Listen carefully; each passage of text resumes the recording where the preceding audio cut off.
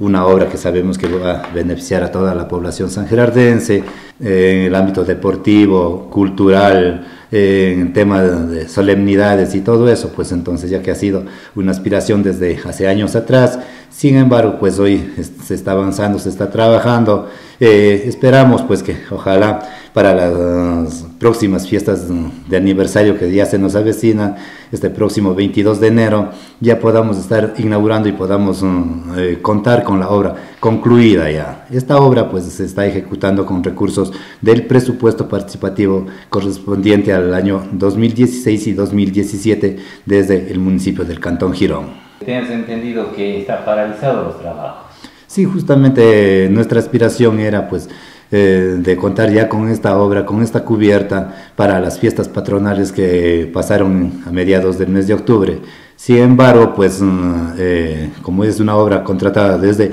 el municipio del Cantón Girón, los señores técnicos han manifestado que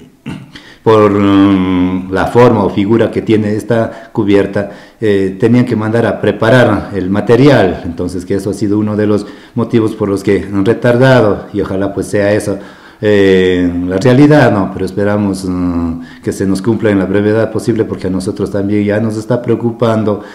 ¿Cuánto es el costo? El, proyecto no está por ejecutarse en su totalidad, sin embargo, eh, hasta el momento la obra que se está ejecutando está en un valor de 100 mil dólares, porque nosotros aspirábamos ya que se contrate esta obra en el año 2016, sin embargo ya no fue posible, pues en el mismo que fue contratado en este año, para lo cual ya se tuvo que hacer algunos cambios en el tema económico, en, el tema de actualización de precios, por ejemplo. Entonces ahí subió un valor aproximado de 10 a 15 mil dólares, el que nos va desfinanciando a nosotros. Y por lo tanto, pues ya nos mm, obliga a buscar recursos para que esta obra, obra se concluya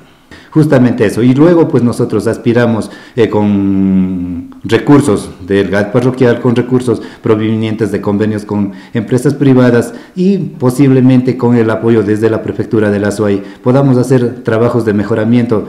del piso de la cancha. Queremos hacer un recapeo y también la implementación de